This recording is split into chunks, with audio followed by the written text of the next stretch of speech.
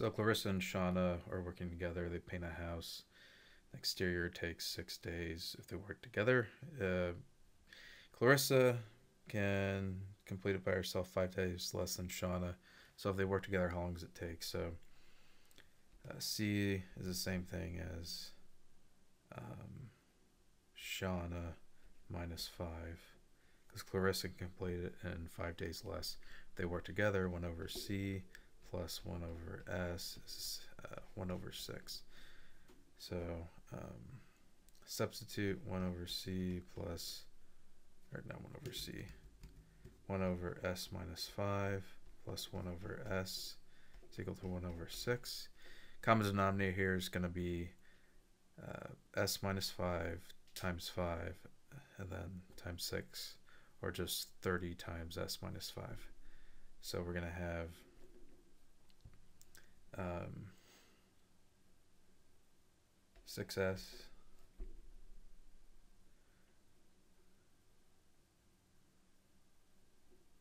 plus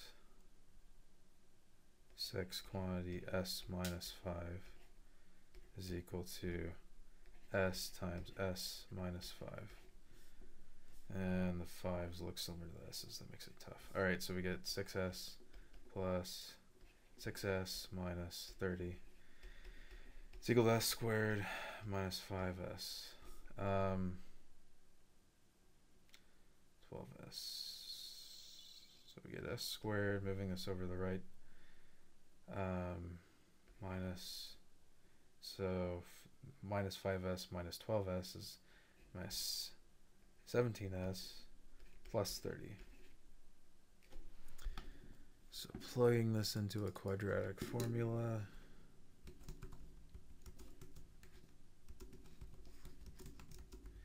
yields me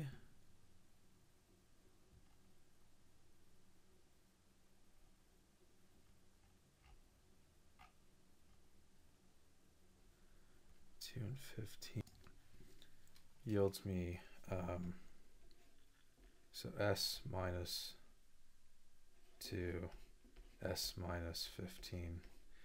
Um, so s can be equal to 2 and 15, but it can't be 2 because it has to be, well, if it's 2, it can't be 2 days because then it doesn't matter how fast uh, Shawna paints, Clarissa can paint as slow she wants. It's going to get completed in 2 days, so it's got to be 15.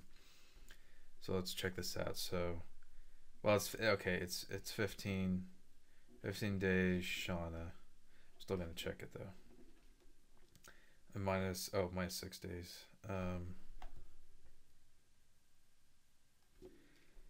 and five days less, so ten days. Clarissa. Okay. Um. So just check. So one Clarissa's one over ten plus one over fifteen.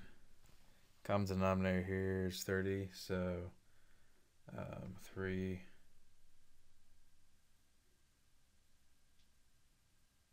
3 over 30 plus 2 over 30 is equal to 5 over 30, which is equal to 1 over 6, which is the 6 days.